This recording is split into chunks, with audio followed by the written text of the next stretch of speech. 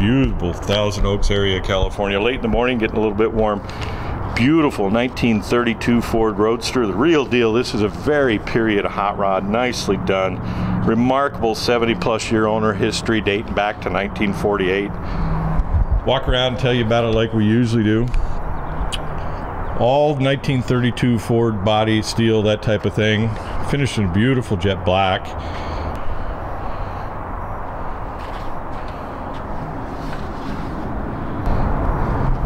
As we go around with this one I don't have a lift but I don't really need one so I'm going to cover the undercarriage and things as we cruise along here. Rumble seat. Late 1950s Ford plug-in axles Halibrand quick change rear end with 348 and 411 gears. We get up front it's a lot of fun too. You kind of saw me pass by that underneath the hood. Beautiful floor pans on this one finished nicely done very much an exquisite hot rod style restoration on this one with beautiful body lines.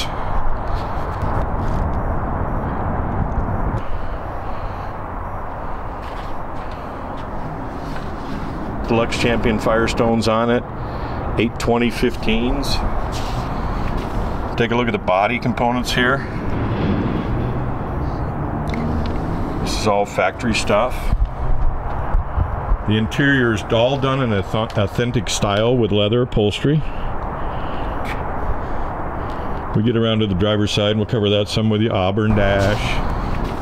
1948 to 1952 Ford F1 steering box. Hairpin dropped axle up front, chrome drilled.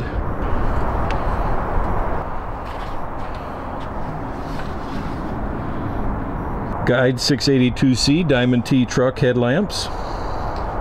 Anyway, underneath the hood here is a 258 cubic inch flathead V8 with some really nice goodies on it. I've got my cheat sheet here. I'm going to cover it for you. It's a 200 plus horsepower 258 CID flathead V8. The entire rotating assembly's been balanced. A lot of these specs will have at Spud's Garage, but I want to cover the big stuff here. Uh, Don Orosco's Ardun overhead valve cylinder heads on it, topped by a SCOT Scott blower.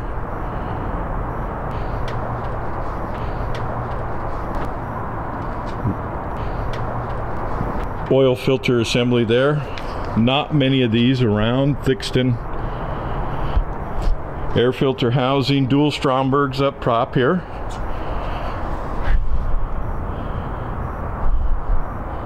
Beautiful. You take it all in. Again, I'll have all the specs at Spud's Garage, but early speed stuff started instantly here after sitting a few months.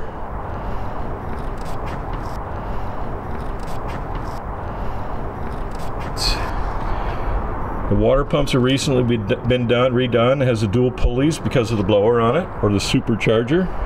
Depends on who you want to. Vertex Magneto up front here. And we'll fire it up here for you and throughout the video we'll have running on it up front here. Tires on it are uh, Firestones tubeless 560 16s up front.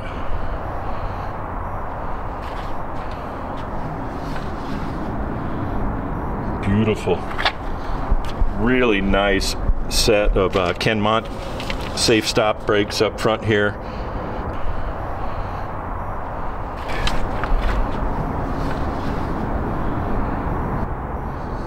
The early speed equipment is really getting hard to find, and this has a lot of nice early stuff on it.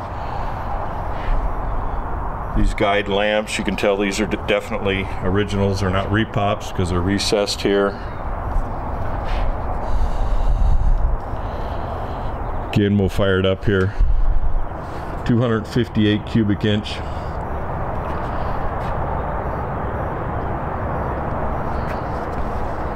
cowl vent here. The handle's not on it underneath the dash, but we wanted to show you that it was still functional there. We raised it up for you with the Auburn dash. Nobody put a handle back on it.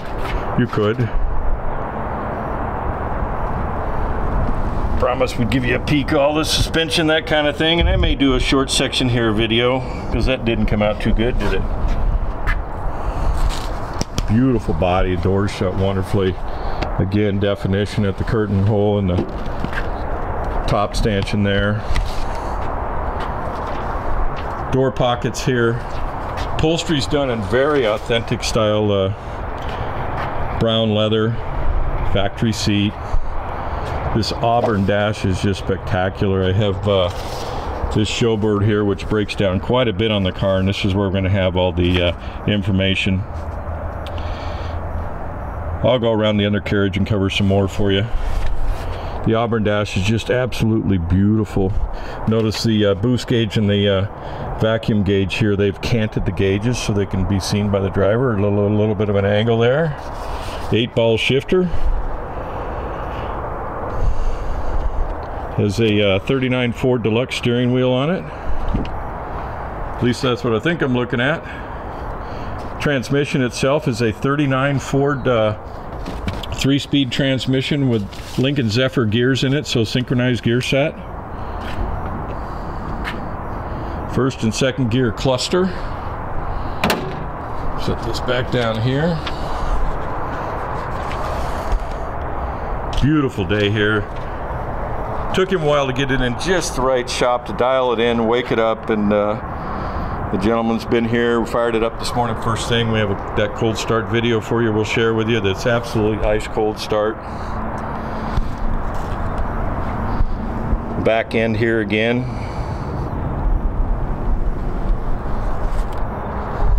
Cars like this, just wow. Raise up the uh, rumble seat here for you so you kind of get a feel. Done the same way, the authentic style upholstery.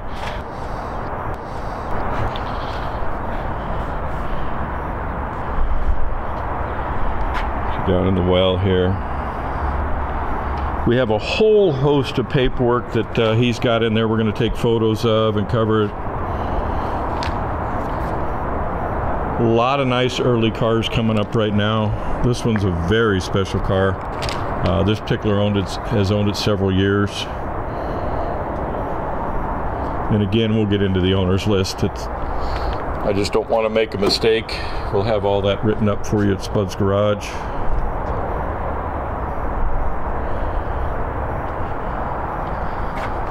Just inspiring beauty like this. I'm to get in here and fire it up so you can hear it run.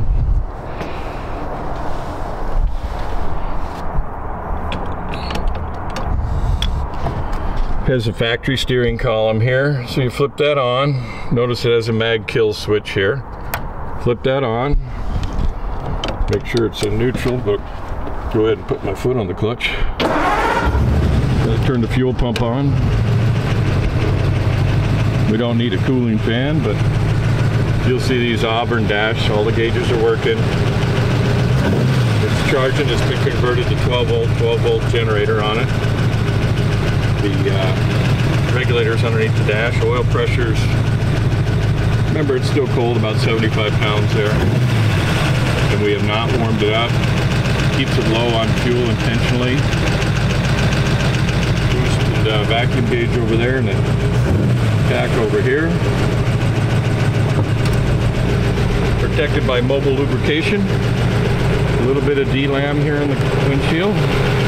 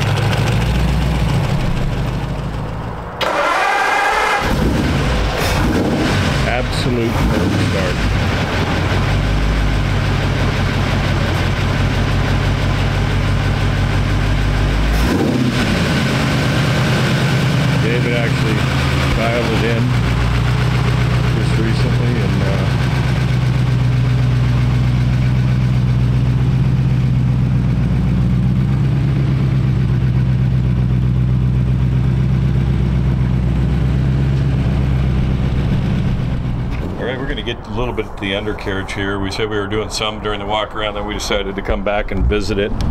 There's a Kinmont brakes. Very rare vintage set. Hard to find.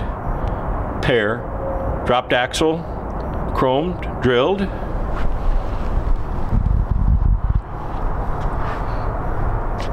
Forty-eight fifty-two Ford F1 steering box here. Chrome hairpins long tube headers on it. Been ceramic coated. Custom exhaust. Kind of get a good feel there of the undercarriage.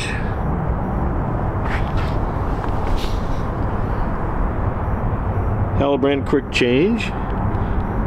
Look at the floor pans here. Just beautiful. Floorboards up front.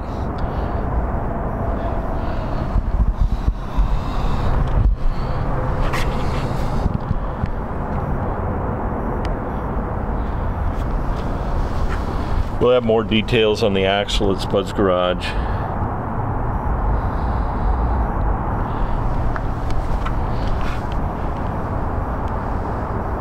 Beautiful. Thought we'd throw this in here as we were going along, get the end of the video here.